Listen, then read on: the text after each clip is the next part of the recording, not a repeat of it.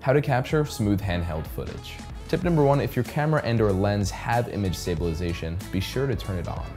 Tip number two, use the camera strap method by holding your camera away from your neck.